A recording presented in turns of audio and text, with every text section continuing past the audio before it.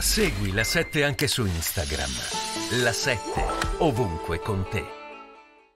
Sono Roberto Celestri, professione filmmaker. Creo contenuti d'arte per i social. L'arte mi emoziona, mi fa pensare ed è un vizio di famiglia. Seguitemi.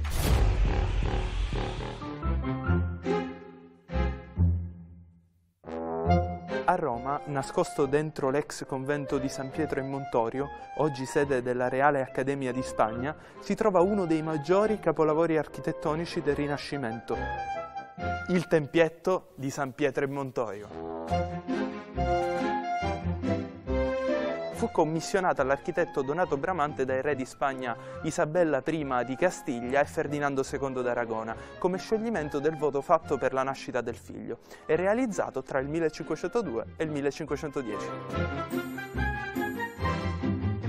Lo dedicarono a San Pietro e per questo è stato eretto qui, sul colle del Gianicolo, luogo in cui, secondo la tradizione, l'Apostolo è stato crocifisso a testa in giù.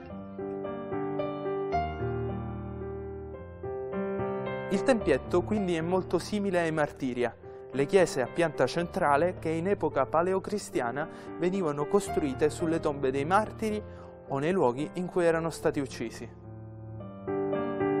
Ma anche se il disegno è lo stesso, in questo caso non siamo in una chiesa, ma in un luogo puramente commemorativo e simbolico, perché le sue ridotte dimensioni rendono proprio impossibile la celebrazione di funzioni liturgiche. Infatti nel tempietto del Bramante l'aula a pianta centrale ha un diametro di appena 4 metri anche se le dimensioni sembrano maggiori. Ma è frutto dell'illusione creata dal colonnato su cui poggia un architrave, fregio e cornici doriche. Al secondo livello, dove c'è la balaustra, si innalza la cupola con lanternino, realizzata in conglomerato cementizio secondo la tecnica degli antichi romani. L'intero progetto infatti si ispira al classicismo e alle teorie architettoniche di Vitruvio. Lo si nota nelle 16 colonne di granito, numero che il teorico romano considerava perfetto, e nel corridoio che le separa dalla cella, dove il soffitto è decorato a cassettoni, come il Pantheon.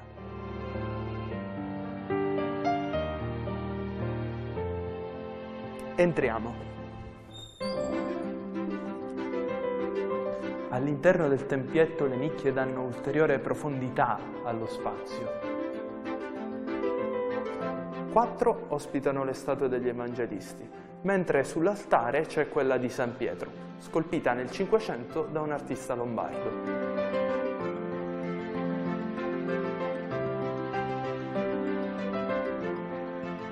Sotto il pavimento, formato da tessere marmoree policrome, si trova la cripta, Originariamente ci si arrivava da un piccolissimo passaggio nascosto dietro l'altare, ma nel XVII secolo sono state costruite queste scale esterne, decisamente più comode. Arrivati nella cripta si nota subito la volta decorata a stucco e l'oculo al centro, che indica il punto in cui sarebbe stata piantata la croce del martirio di San Pietro. Rappresenta l'asse centrale di tutta la costruzione che con le sue proporzioni perfettamente simmetriche ed equilibrate sembra di stare in un modellino in scala.